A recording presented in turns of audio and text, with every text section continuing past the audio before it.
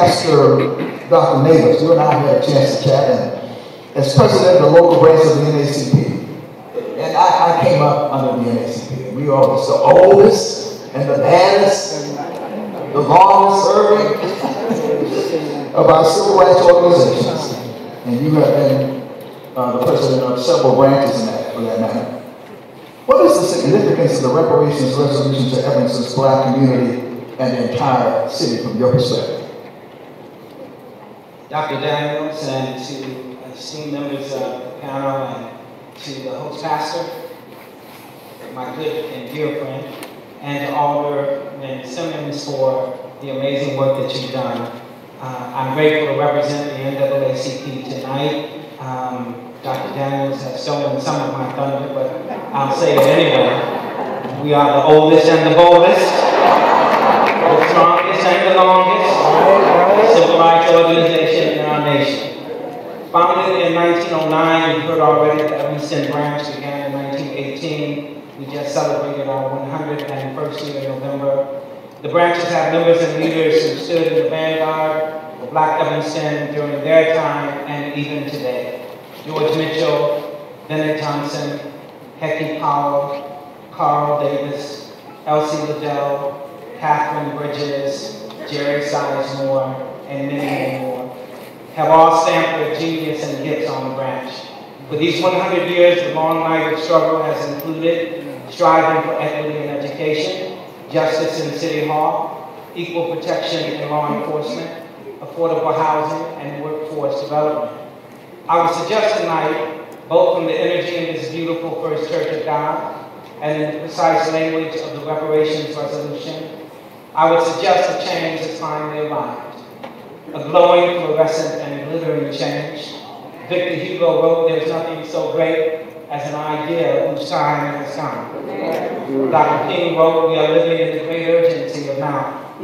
For the NAACP, the resolution means that a long overdue idea has finally come to pass. And it could not come any quicker or more timely than the urgency of now. Let's overlook the marvel and majesty of this unique and historical moment White nationalism is rising quicker than water levels of the oceans. One due to global warming and the other due to heart squeezing.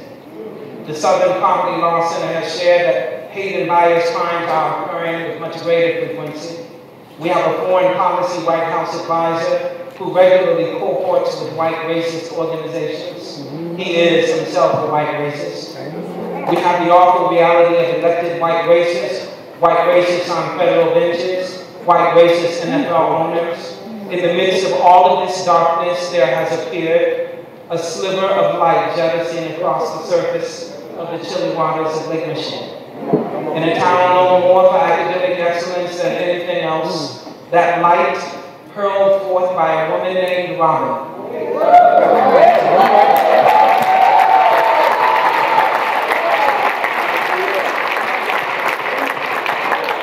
Strengthened by a council of the city of Evanston, that light is just beginning to glow.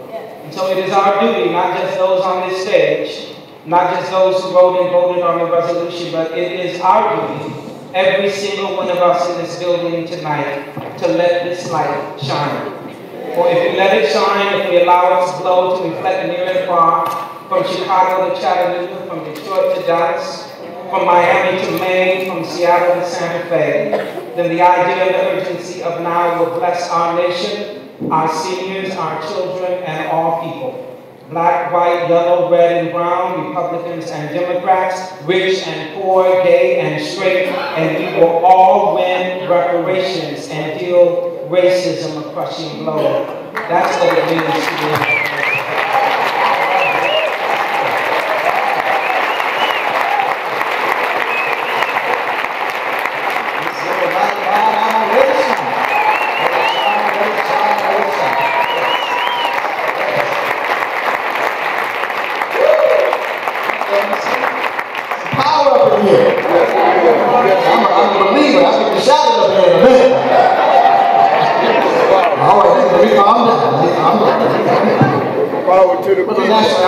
Reparations Commission was invited to Evanston by Alderman Simmons and the Reparations Subcommittee to support this initiative by providing background information, background and information on the definitions of reparations, the international law governing reparatory justice process, historical precedents for reparations, the historic struggle by African, African Americans to achieve reparations in the U.S., and finally, what are the basic criteria for reparations for a reparations initiative? So I'm going to begin now with Kamm Howard, who is the national male co-chair of this awesome organization N'COBRA. By asking him, would you be, um, and COBRA has been the leading organization pushing for reparations for decades.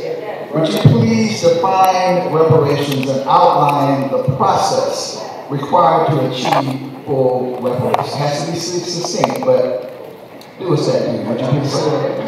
First, I want to thank the city of Evanston for hosting us here. Thank you very much. So, COBRA has defined reparations as a process of repairing, healing, and restoring people who were injured due to our group identity and violation of our very fundamental human rights by government, corporation, institution, or individual. Key to that healing is the concept of what is called full reparations or full repair, which is an international term. Under international law and international norms, reparations must, quote, wipe out all consequences, unquote, of the injury. So crimes were committed like the crimes of enslavement and the crimes of Jim Crow segregation and all the post-Jim Crow crimes that were committed. And the, all the injuries that we suffer from today, reparations must under international norms, wipe out all of those consequences. In order to do that, there's a term called full repair. And full repair has five major components. First component is cessation and guarantees non-repetition. So whatever bad acts are being created, still being created, they must be halted. And, and policies and, and structures must, must be put in place to halt them from being repeated. In America, there are many laws that have a disproportionate effect, negative effect on people of African descent. They're not called black codes, uh, you know, talked about the black codes that were in existence in the 1800s. They're not called black codes today, but they still have the same negative disproportionate effect on people of African descent in this country, and we have to halt those laws. There's some that were mentioned earlier that are here in Evanston. The second component full repair is restitution.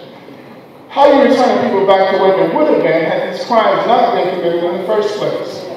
Now, these are the many educational initiatives that we talk about when we talk about reparations. The economic initiatives, the housing initiatives, the initiatives that deal with um, uh, community development, those type of things bring us back to what we would have been if we hadn't been redlined, if we hadn't been um, Jim Crow, etc.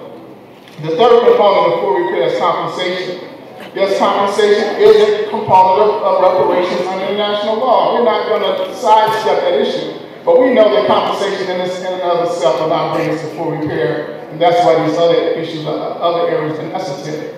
The fourth component is satisfaction. How do you turn the dignity back to the people whose dignity was eroded as a of the crimes committed against us? I always use the example that I was in China a few years ago, and every morning when I left out of my hotel, I walked across, walked down the street, and old Chinese women would walk on the other side of the sidewalk as I came by. And that's because of the projected image that this country has done of black male, that the black male is criminal no matter where he goes. so how do we get identity back? First we have to begin telling this true history that this nation was created in criminal actions. And we begin from that point. In addition, apologies, museums, markers, those things meet the criteria of uh, satisfaction, but a, a, complete curriculum change in this country must be, number one. The third component of uh, reparations is rehabilitation for the mind, heart, and spirit damage. In had our, our 31st uh, convention in June, and our theme for the year was 400 Years of Terror the road. We have experienced uninterrupted terror in this country for 400 years. And we know that that terror has had an impact not only on us psychologically, but also on us physically. Because that, we know that there's now science that says trauma and terror affects your DNA, can alter damage your DNA. I said it earlier, and I'm in here, is that in the 2005 uh, reparations lawsuit with Judge, Judge Lionel Baptiste argued. The judge who made a ruling on that case says, you're too far removed from the injury. So you don't have standing to bring a lawsuit. We're not removed at all because it's in our DNA. Right now, today, it is in our DNA. We're still living the effects of enslavement right now. That's why full repair is necessary. All right.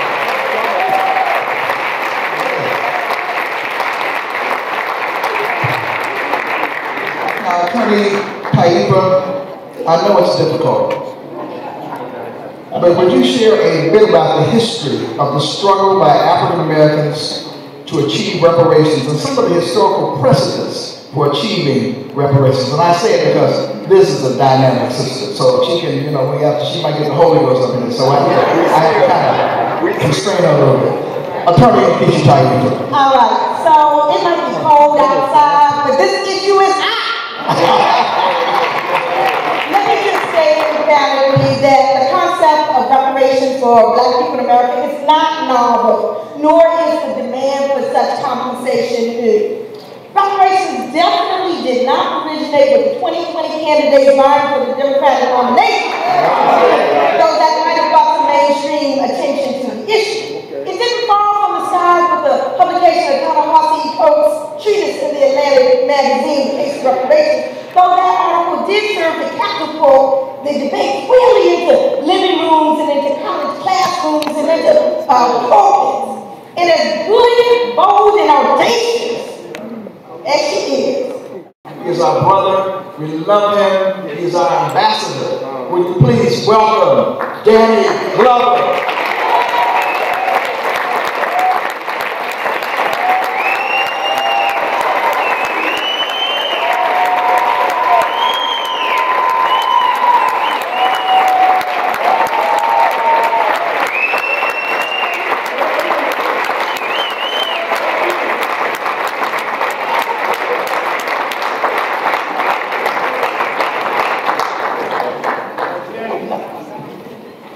I tell you, I want to uh,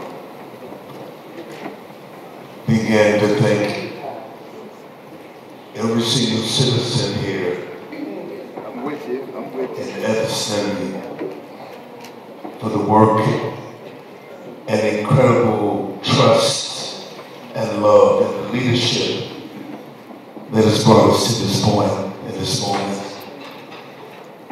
Because it is you, the citizens, of this extraordinary moment who will go down in history and whose voices will be remembered as they stood up in the face of all opposition, in the face, in the face of condemnation, made the choice as citizens to stand up for not only their own humanity, but the humanity of all people. I want to thank.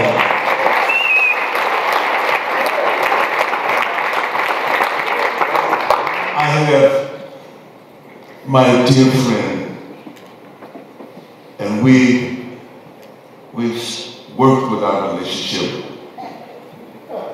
Dr. Ron Daniels often referred to me in any moment as some reference to an artist, an activist, a humanitarian that stands above us all. As Mary McLeod Bethune described him in her comments, he is the tallest tree in our forest, Paul Robeson. The son of an escaped slave, a minister, the extraordinary power in the face of extraordinary, unbelievable intimidation and denunciation to stand up and to be there and to sacrifice so much in the service of not only African descendants but humanity as well. Is a man who sang and spoke in more than 12 languages, who understood the relationship between the music of Africa and the music, the, the Mozarts and the different musics of every place in the world, who understood the origin. Educate. This is a, an extraordinary moment and an extraordinary moment for us to celebrate. No doubt about that. The work that Alderman Robin Rue Simmons and, and those who work in support her, those citizens and those also those aldermen members have stood out and put their foot in the fire and stood in the fire to make this happen. This conversation right there, right now, this conversation where we at right now, at the beginning of the work that has to be done, the generational work, the work that we've stepped into, the work by our dear brother, Professor Charles Ogletree.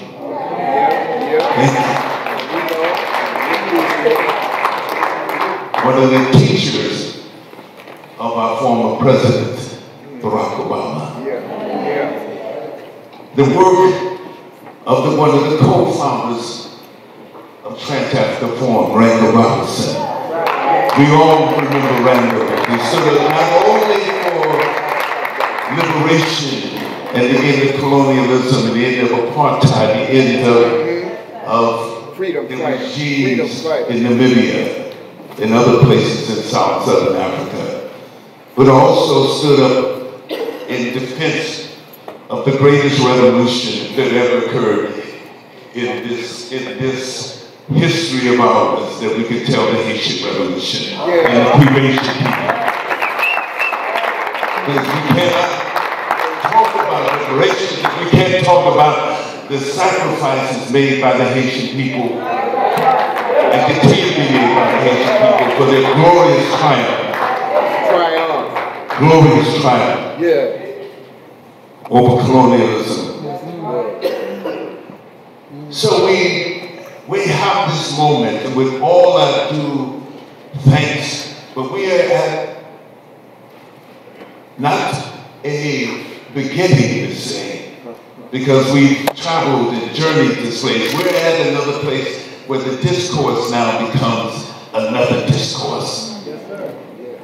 This city has stepped out in the fire. This city will always remember, but what we do, what we do tomorrow, what we do day in, day out, as we understand the velocity and the expansiveness of this idea.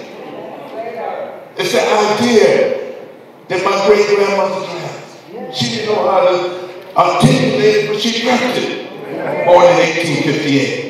It's the idea those who come before who not only spoke about liberation and freedom and the end of slavery, and the end of that, it's that idea that we step into and we enlarge that idea. We take into consideration not only their lives, but the lives of their children and children's children and uh, children's children and children me. And that's where we are right now. We're talking about this, this narrative that we're talking about. And it has to be our commitment.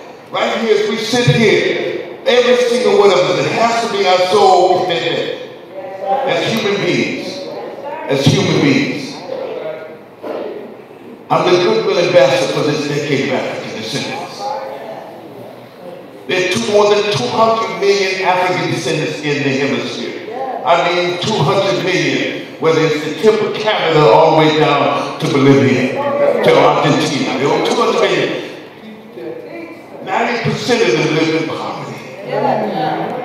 90% of them live in poverty. The largest number of African descendants outside of Nigeria is in Brazil itself. With a rate, murder rate of young black males in Brazil is so horrific.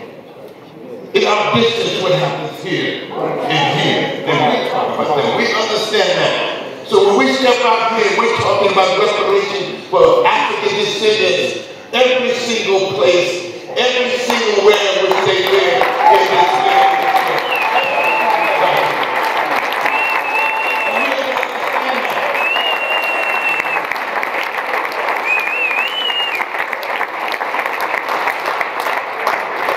The statement made here, as I said, is a political project.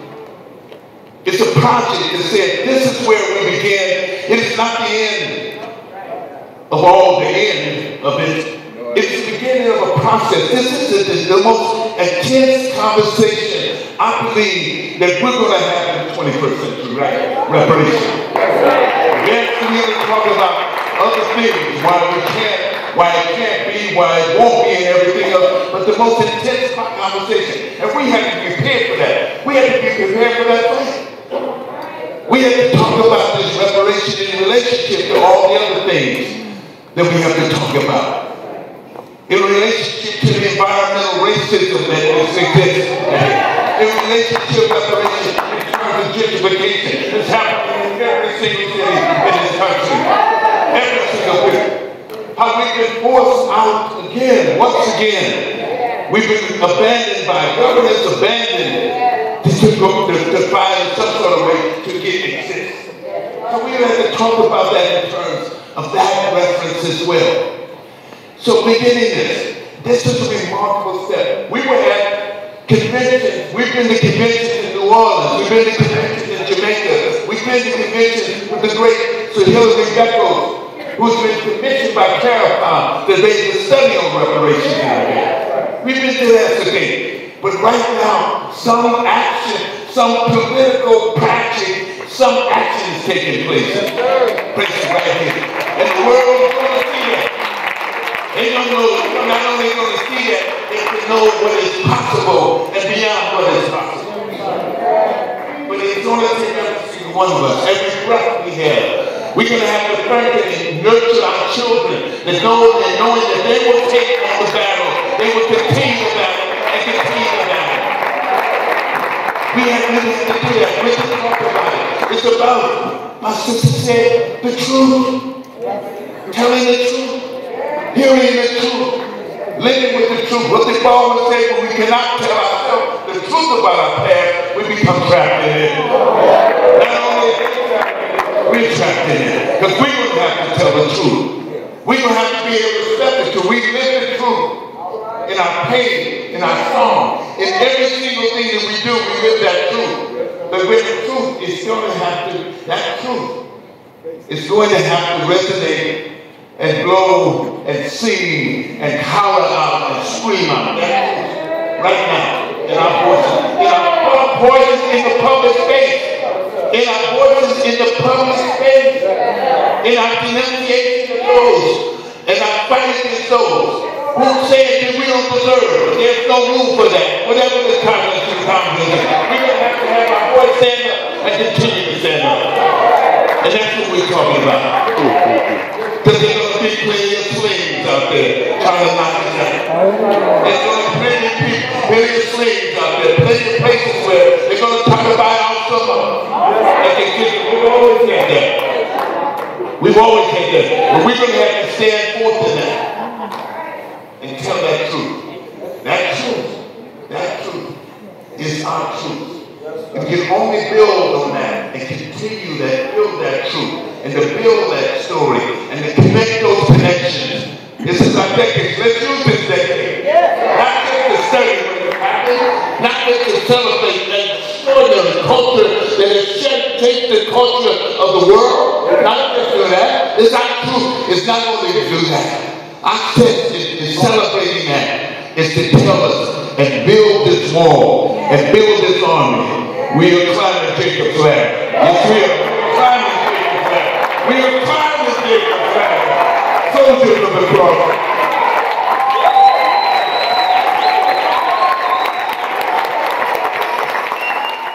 Community organizations, stakeholders, residents, parents.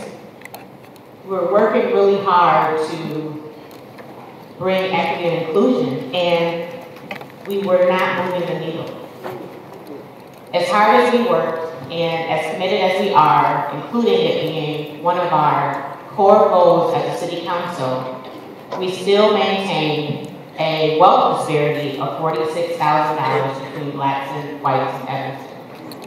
We continue a life expectancy gap of 13 years.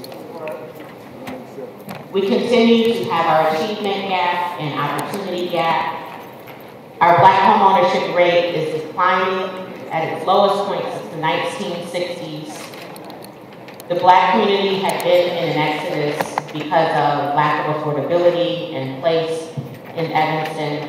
And it was time to lead in urgency. It was time to do something as radical as the oppression and discrimination, as the impact from the Jim Crow law and the redlining, something as radical as enslavement and torture and crimes of humanity. It was time to be unapologetic and uncompromising and bold and reparations. There was nothing more to do. We had done it all here in Evanston, and we do it with all of our heart. And I mean that. We work hard here in Evanston. Most people are here because they enjoy our diversity. Next are the trees or the beach. I don't know which it is, but uh, diversity is key. And we needed to be true to that. We needed to move our efforts beyond apology and ceremony. And we needed to bring action. And a reparative policy is what I felt was the next option, and really the only option based on everything that we had done. And that's what motivated me, included overcoming some things in the neighborhood that I serve. I live in Census Tract 8092, which has the low spectrum of the disparity in all things. And it was time that um, I moved forward, and that was my motivation. All right. Pastor Dillard, you are not only the pastor of Square Church, but as an extension of your work and the tradition of Adam Clayton Powell, frankly, you are also out in the community. So you serve on the Equity and Empowerment Commission. What motivated you to become involved in this mission? And what role has the commission played, played in bringing the initiative to this point? Um, yes, the Equity and Empowerment Commission is actually relatively new in the city. Uh, just now going into our second year. And truthfully, we are tasked with uh, looking at you know all things through a lens of how does this specific function affect everyone, whether that's ableism, uh, racism, sexism. We, we, we kind of have a very broad spectrum and spend, uh, spend and continue to spend a lot of time uh, to do that. And in my personal assessment, because I, I, can't speak for the commission itself, my personal uh, assessment was that, um, as a matter of fact, I stated in one of our meetings that we have to go where the work is taking us. Uh, we were really trying to find identity and, and pursuit given the vast number of things. And we still continue to do that. We have a, a lot of work to do yet. Uh, but one thing we found is that the work always took us to disparities that affected African Americans. Even if it's a matter of ableism, um, people who are disabled are often not considered in how buildings are built. Uh, one of the largest restaurant food chains, 75% uh, all of their workers drive through, but if you're deaf, you have to get out, right? So, but we realize that even in matters of ableism or, or sexism, there's an issue. But if you're black and have that issue, it's even worse.